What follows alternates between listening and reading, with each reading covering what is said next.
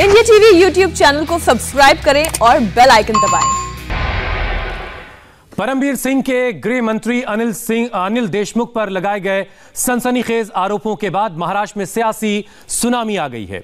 MNS अध्यक्ष राज ठाकरे ने उद्धव सरकार पर बड़ा अटैक किया है। राज ठाकरे ने कहा कि अनिल देशमुख पर लगे आरोपों की जाँच होनी चाहिए। ऐसा कभी नहीं सुना।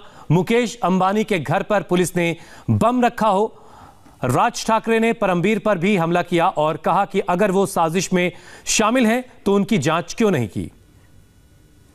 मुझे लगता है कि केंद्र सरकार को इसमें हस्तक्षेप करना चाहिए और इसकी कड़ी सी कड़ी इंक्वायरी होनी चाहिए, क्योंकि ये कोई आम बात नहीं है। जैसे मैंने कहा था अभी पहले कि हम लोग पहले सुनते थे, सोचते थे कि बम टेररिस्ट लगाते हैं।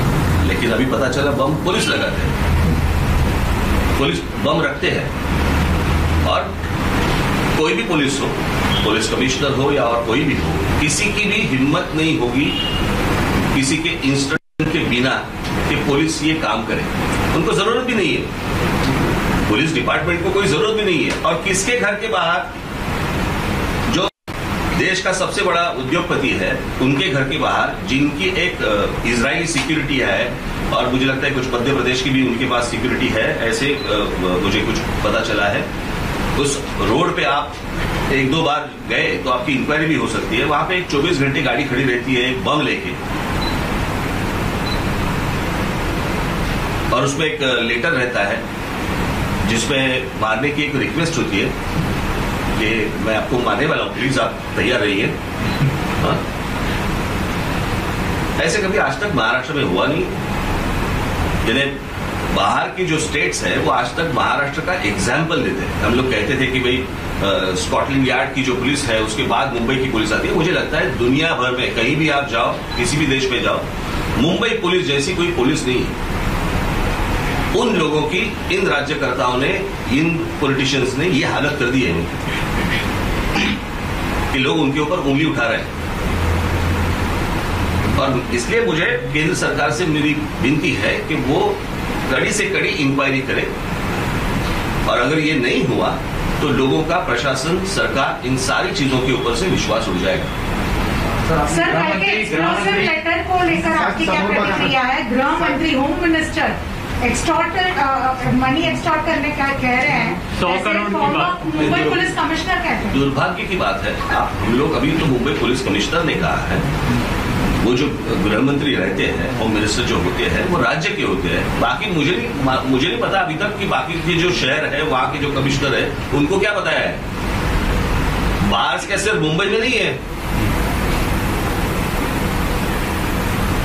तो अभी तो ये शुरुआत है और मुझे लगता है कि ये पूरा ये जो प्रकरण है वो आप कहीं और मत लेके जाइए। मुझे लगता है कि बम की गाड़ी किसने रखने के लिए कहा? वहाँ पे रखने के लिए कही है। वो मुझे लगता है बाहर आना चाहिए। बस। सर इस मामले इस्तीफा दे देना चाहिए आपको लगता है तुरंत रहे हैं। कल डिमांड की है अनिल देशमुख को इस्तीफा देना चाहिए इमीजिएटली नहीं दिया तो लेना चाहिए। और इसकी इंक्वायरी महाराष्ट्र राज्य में नहीं हो सकती। सर मुख्यमंत्री का अब तक इस पूरे मामले पर कोई बयान सामने नहीं आया मुझे अभी तक पता नहीं चला है कि मुंबई पुलिस कमिश्नर को निकाला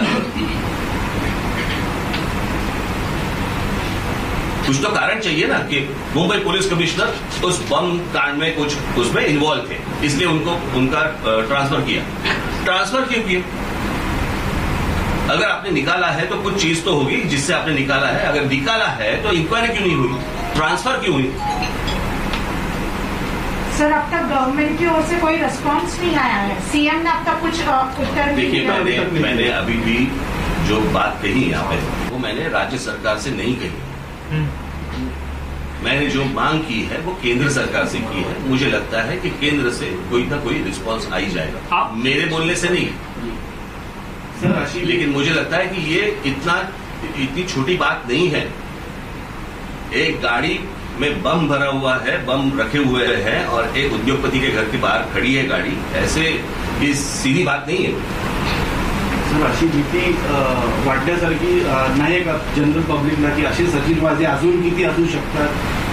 Sir, please मला. हेच सांगायचंय दुसरीकडे वळवू नका. समजा असले तर नंतर शोधू. पहिली गाडीत बॉम्ब कोणी ठेवायला चीफ राज ठाकरे मांग कर रहे हैं कि अनिल देशमुख को तुरंत इस्तीफा देना चाहिए, और अगर इस्तीफा नहीं देते हैं तो इस्तीफा ले लिया जाना चाहिए, और केंद्र सरकार को इस मामले में दखल देना चाहिए, और इसकी जाँच भी राज्य के अंदर ना होकर के कहीं बाहर हो, इसकी जाँच बाहर की जाँच की एजेंसी इसका जिम्मा उठाए, ये भी वो कह रहे हैं। वाजे की बहाली की जाँच होनी चाहिए, ये बात भी राज ठाकरे ने उठाई।